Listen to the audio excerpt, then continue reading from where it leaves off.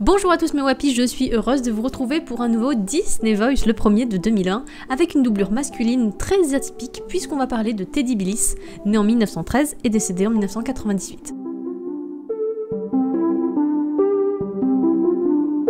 C'est une voix tendre et attachante que je vous fais découvrir aujourd'hui avec Teddy Billis, acteur, comédien français ayant une filmographie conséquente, théâtre, cinéma, télévision inclus. Sa belle carrière de doubleur avec sa voix si généreuse et particulièrement intéressante est appréciée dans l'univers Disney.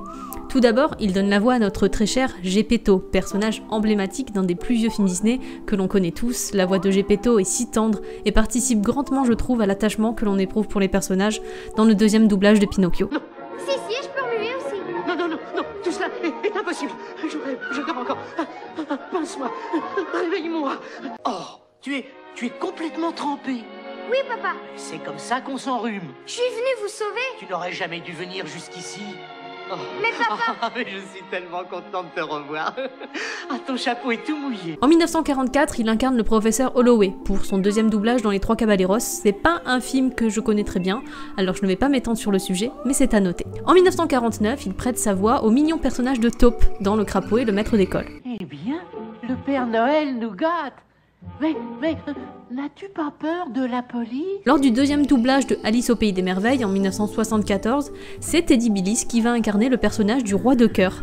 Sa voix ici se prête parfaitement au caractère indécis et un petit peu soumis du roi de cœur que je trouve très sympathique et qui fait ressortir ici le fort contraste entre le roi et la reine de cœur. Laissez-moi voir, ma chère.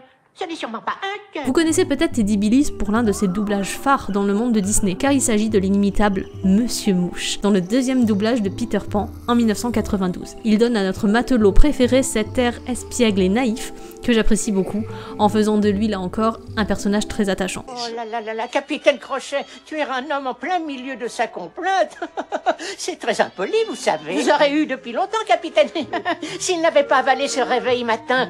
Maintenant, quand il approche, on peut dire qu'il vous avertit avec son tic-tac, tic-tac, tic-tac, tic.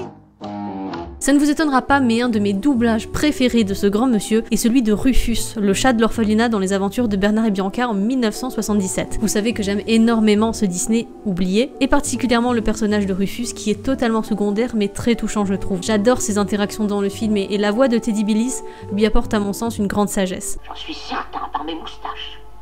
Mais tu ne dois pas te démoraliser, croisant ma vieille expérience. Vois-tu ce bel oiseau bleu? Oui, je le vois. Eh bien, l'espoir, c'est comme un oiseau bleu. On l'aperçoit de loin, il est dans le ciel, tout comme l'étoile du berger. L'acheter ni l'enfermer dans une cage, mais il est là tout de même. Et grâce à lui, un jour, tout s'arrange. Côté Disney, je termine avec un des rôles les plus marquants également de Teddy Billis, qui est la voix française du sultan dans la trilogie Aladdin. Là encore, un personnage tendre, gentil et quelque peu naïf. Il me semble que c'est vraiment ce que véhicule la voix si douce de Monsieur Billis, qui vous le voyez est une grande voix française des productions Disney. En avant, mon garçon Fais-moi donc une petite démonstration Oui Hurrah Bravo, mon garçon Pour un peu, je t'embrasserai. Mais euh, je n'en ferai rien. Je laisse ça à ma... Mais nous allons vous marier sur le champ. Bien entendu, Génie, vous avez carte blanche. Comment te dire à quel point je suis navré, Jasmine?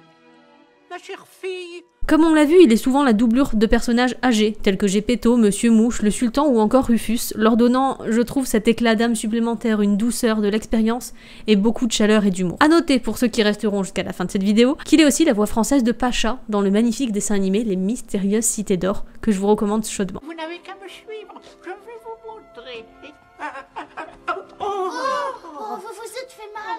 Oh, non, non, mes jambes sont un peu vieilles, c'est tout. Mais il est aussi Isaac Singerman dans la série télévisée culte La Petite Maison dans la Prairie. Oui bon d'accord, là ça, ça parlera uniquement aux plus vieux d'entre vous, mais cette anecdote est quand même cool.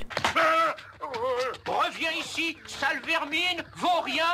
Ah, c'est vous qui aviez raison. Ça, je le savais, merci. Si vous remettez la main sur ce petit voyou, vous lui caresserez le bas du dos avec un bâton. Et voilà c'est tout pour ce Disney Voice mes wapis, d'ici la prochaine vidéo portez-vous bien, gardez bien en tête que les passions n'ont pas d'âge alors vivez-les à fond, ciao tout le monde